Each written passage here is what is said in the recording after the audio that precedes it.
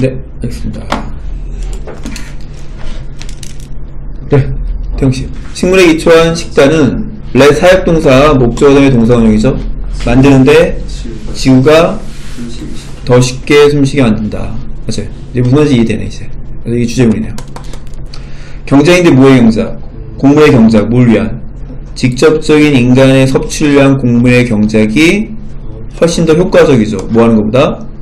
곡물과 콩을 사용하는 것보다 뭐 하기 위해서? 살찌우기 위해서 농장 동물들을. 네? 단지 작은 부분, 어떤 적은 부분? 영양분의 적은 부분, 어떤 영양분? 소와 다른 동물들이 섭취하는 영양분의 작은 부분이 근데 봐봐 얘가 동사지 그럼 주어는 뭐니? 주어 small part 하면 단수인데 네, nutrient지 nutrient 아시? 조심해야 돼 그 영양분의 작은 부분이 남겨지는 거죠 어디에?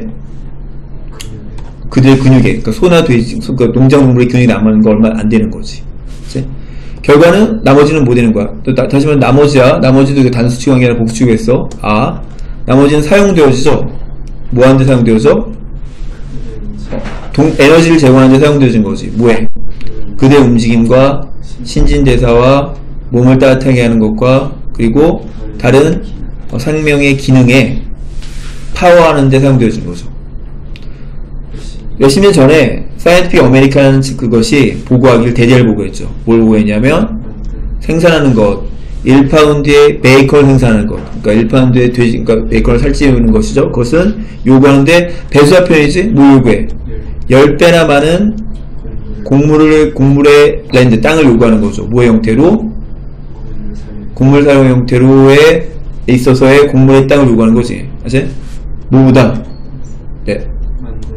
사용되는 것보다 뭐하기 사용되는 것보다 같은 양의 인공적인 베이컨을 뭐로부터 만드는 뭐로부터 콩으로부터 만드는 것보다 10배나 많이 든다는 거죠. 뭔지 알겠지? 그러니까 소돼지 살찌는데 땅이 너무나 많이 필요하다 얘기하는 거죠.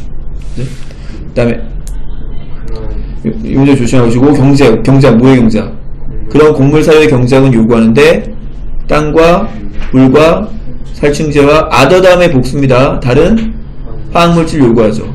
근데 그런 것들이 어떤 것이야? 그것들이 더해지는데 뭐에 더해져? 우리의 환경적인 문제에 더해지는 것이.